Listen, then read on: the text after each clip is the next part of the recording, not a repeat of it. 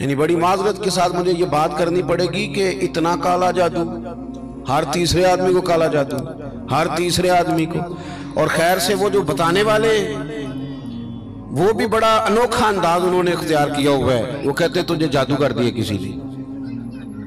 मुझे किसने कहा, क्या ये मुझे बताने का हुक्म नहीं? मुझे शरारत का हुक्म था, शरारत मैंने कर दी। अब तू घर जाके सोचता रहे। इसी तरह ढेरों किस्म के मलांग हमारे खाते पड़ गए, टल पहने हुए। और वो आ गए, वो लोगों को किस्मत का हाल बताते हैं। आपका तो मुझे नहीं पता। मैंने अपने देहातों में देखा है कि वो सोना भी डबल करते थे। बाद में पता चलता था, अब सिंगल भी गायब हो जाता था। हंसे नहीं जी ऊँचा नहीं हंसना चाहिए, कभी भी। ये महफिल है हमारी संजीदा माहौल है।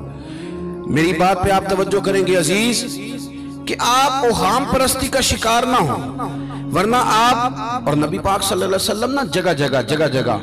हुजूर हमें जौक देते, समझाते कि तुमने अपनी तवज्जो अल्लाह रसूल की जानिब रखनी है। तुमने उलझना नहीं, वरना आप कैसे मैदान में निकलेंगे? फौजी कह दे, हमें काला जादू हो गया, हमसे जाया नहीं जाता।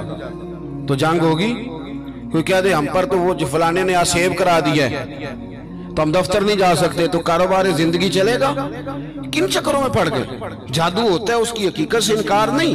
लेकिन इतना कच्चा माहौल, इतनी कमज़ोर बात, ये अहले ईमान का शेवा नहीं है। आप मज़बूत रहें। आरफ रूमी अलैह फरमाते मैं कभी भी ज़िंदगी में को बात इसलिए नहीं की कि मजमा हंसे और हंसना वैसे भी शरीयत में मुस्कुराना है। कहका लगा के तो रूटीन में भी हंसने से परहेज करनी चाहिए। वो कहते एक बादशाह था तो उसका भी जेन बन गया था कि पता नहीं ये क्या हो जाता है। कुछ ये लोग ना हमारा वहम बढ़ाते हैं आजकल, जो तवीज धागे वाले लोग हैं ना, ये और इजाफा करते हैं उसके अंदर, और कहानियाँ बना के देते हैं, लोग और ज़्यादा उलझ जाते हैं। बादशाह था तो वो शिकार करने जाता था तो उसके जहन में ये ख्याल था कि अगर रस्ते में कोई बंदा मेरे मत्थे लग जाए तो मेरा शिकार ठीक नहीं होता। तो वो क्या करता, वो जब सफ़र के लिए निकलता तो लोगों से कहता, सारे रास्ते खाली करा दो। मैंने शिकार के लिए जाना है। लोग रास्ते खाली करा देते। एक दिन एक आदमी बेचारा ने एक कान, एक आँख से उसे नज़र नहीं आता। वो कोई जंगल से लकड़ियाँ काट के आ रहा था तो अचानक वो चढ़ गया। अजानें ज़्यादा होती हो तो एक का जवाब देना ज़रूरी होता है। वो हम दे चुके हैं, इसलिए आप तवज्जो करें मेरी बात। तो वो बेचारा चढ़ गया लकड़ हारा सड़क पे। उसके सिपाहियों ने बंदे तो बड़े हटाए थे, पर ये गलती से आ गया। उन्होंने पकड़ लिया, बादशाह के सामने पेश किया। बादशाह कहने लगा, तुम्हें नहीं पता कि मेरे रास्ते में कोई आए तो मेरा शिकार नहीं ठीक होता। इसको बाँध दो। धूप बड़ी सख्त थी, दरख्त के साथ बाँध दिया। कहा, जा रहा हूँ। वापिस आता हूँ। अगर शिकार ठीक हो गया तो छोड़ दूँगा, वरना इसे कत्ल कर दूँगा। दो बंदे उसके सराहने खड़े कर दिए, तलवार लेकर के। अब वो बेचारा सुबह से बंदा है। बादशाह चला गया। इत्तेफाक की बात यह कि आज शिकार पहले से भी अच्छा हुआ। खूब हुआ। बादशाह वापस आया। अब ये धूप में बंदा है, किसी ने पानी भी नहीं पूछा। तंग आमद, बजांग आमद। बंदा जब पूरा तंग आए तो फिर जंग भी बड़ी करता है। इसने कहा, यार, आज मरना तो है। अब मरना सच बोल के। बादशाह ने कहा, इसे खोल दो। आज मेरा शिकार बड़ा अच्छा हुआ है। लिहाजा इसे कुछ नहीं कहना, खोल दो। रस्सियाँ खोल दी तो पता का शख्स कहता है? कहता, बादशाह, एक बात कर लू मैं भी। मार तो जाना ही है पर एक बात कर लो। कहने लगा, करो। कहने लगा, तुमने सुबह मेरा मुँह देखा था। तुम्हारा शिकार बड़ा अच्छा हुआ है, दिन बड़ा अच्छा गुजरा है, पर मैंने आज सवेरे तुम्हारा मुँह देख लिया था। तो देखो, मेरा बेचारे का क्या हाल हुआ है कि सुबह से यहाँ। अब तुम बताओ, मनहूस मैं हूँ कि तुम हो? नहूसत मेरे अंदर कि तुम्हारे? अंदर मैं अगर कोई जवान आदमी मेरे साथ आके ये बात करता है ना कि भाई फलान हो गया तो मैं बड़ा तो मुझे उस पर गुस्सा आता है। मैं कहता हूँ, आप इस उम्र में ये काम करेंगे तो बुज़ुर्गों को कौन सहारा देगा? जयीफ और कमजोरों को कौन उठाएगा? आप इतनी कच्ची बातें करते हैं। और यहाँ पीरों ने भी अजीब तमाशा घड़ा हुआ है। सवेरे नौ बजे बैठ जाते हैं तवीज लिखने। आप कुरान शरीफ का दर्श कब देंगे? आप हदीस पाक कब पढ़ाएँगे? आप इनको उसूल फ़िक्र कब बताएँगे? पीर सिर्फ़ दीन का नुमाइंदा होता है, जिसने रब रसूल का दीन पढ़ना है और आगे पढ़ाना है। जिसने लोगों को वहाँ से दीन सीख के आगे सिखाना है, बाकी क्या माना है चीज़ों का? उसने सिर्फ़ आसान करके जो हमारे सूफिया ने दिया, आगे बात पहुँचाने।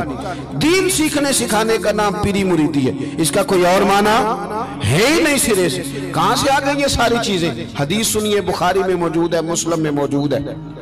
हज़रत अबू हुरैरा रदी अल्लाह तआला फरमाते हैं, नबी पाक सलाम के साहिबजादे का विशाल हुजूर की गोद में हो गया। गोद में विशाल कर गए साहिबजादे। हुजूर को बड़ी तकलीफ़ हुई। आँखों से आँसू आए। सरकार रोए। सिहाबा ने अर्ज़ की, हुजूर, आप भी आँसू बहाते हैं। फरमाते हैं, मेरा बेटा क्या है। ये आँसू मोहब्बत की अलामत है, वरना मेरे दिल और ज़ुबान पे वही है जिससे मेरा रब राज़ी होता है। इत्तेफाक की बात देखिए, इत्तेफाक की, कि उसी दिन, जिस दिन सरकार के साहिबजादे का विशाल हुआ, उसी दिन सूरज को ग्रहण भी हो गया। अब जोड़ने वाले बातें जोड़ देते हैं ना। कुछ लोगों ने बात जोड़ दी, कहने लगे, देखा, हुजूर के साहिबजादे का विशाल हुआ तो सूरज को भी ग्रहण हो गया। सूरज को भी ग्रहण हो गया। और मेरे मेरे दोस्तों, सुनो, ये अकीदों की मजबूती कितना ज़रूरी काम है। अपने आप को फिक्री तौर पर मज़बूत रखना कितना ज़रूरी है। अहमद मुख्तार, नबी पाक सल्लल्लाहु अलैहि वसल्लम ने उसी दिन लोगों को मस्जिद में जमा फरमाया, उसी वक्त। सियाबा कहते हम बड़े परेशान थे कि हुजूर तो गमजदा है। ना कुछ जिहाद की बात होगी, ना और कोई होगी तो इस वक्त क्यों तलब किया? सबको मस्जिद में बुलाया। और बुला के मेरे नबी पाक सलाम ने खुतबा दिया। अल्लाह करे आपको समझ आए। यानी उस दिन, जिस दिन साहिबजादे का विशाल हुआ, गम की घड़ियाँ हुजूर ने सबको मस्जिद में बुला के मैं बुखारी मुस्लिम पढ़ रहा हूँ। हुजूर ने फरमाया, लोगो, सूरज और ग्रहण का लगना अल्लाह की निशानियों में से निशानी है। सूरज चाँद को ग्रहण लगना अल्लाह की निशानियों में से निशानी है। जब ये लगे इस्तफार पढ़ा करो, नमाज़ पढ़ा करो, अल्लाह के हुजूर हाजिर हुआ करो।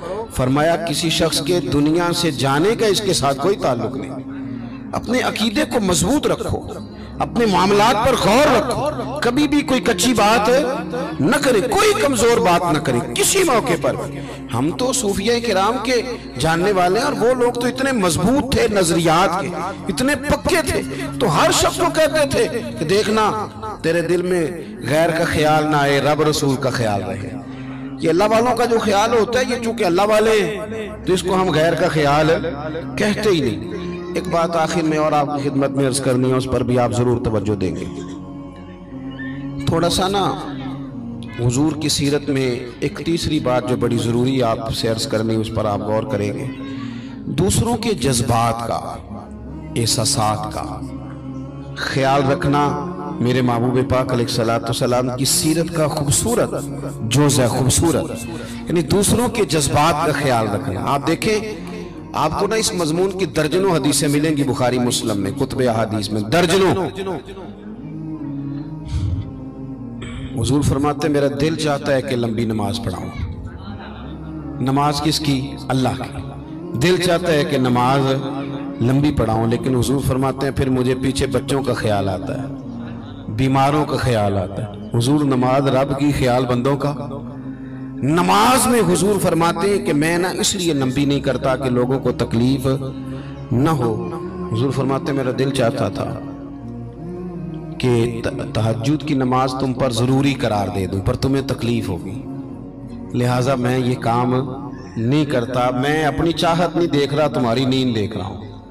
हुजूर फरमाते, दिल करता था, मिसवाक को वज़ू के साथ ज़रूरी करार दे दूँ, पर तुम्हें तकलीफ़ होगी। लिहाजा मैं ये काम आप मेरी बात समझ रहे हैं? भाई, इतना एहसास मुस्लिम शरीफ में हदीस है। सरवर कायनात सल्लल्लाहु अलैहि वसल्लम की खिदमत में अर्ज़ किया गया, हुजूर, ये इमाम है, ये लंबी नमाज़ पढ़ाते हैं। अब ज़ाहिर है वो कुरान शरीफ ही पढ़ते होंगे, अच्छे जज्बात के साथ करते होंगे, लेकिन हुजूर ने बड़े उनको तंबी फरमाई और फरमाया, मैं लोगों को दीन के करीब करता हूँ तो दूर करता है। जब लोगों को नमाज़ पढ़ाए तो एतदाल के साथ पढ़ा, दरमियाने तरीके। खुद पढ़ तो जितनी मर्ज़ी पढ़। थोड़ा सा ना जज्बात का ख्याल करें।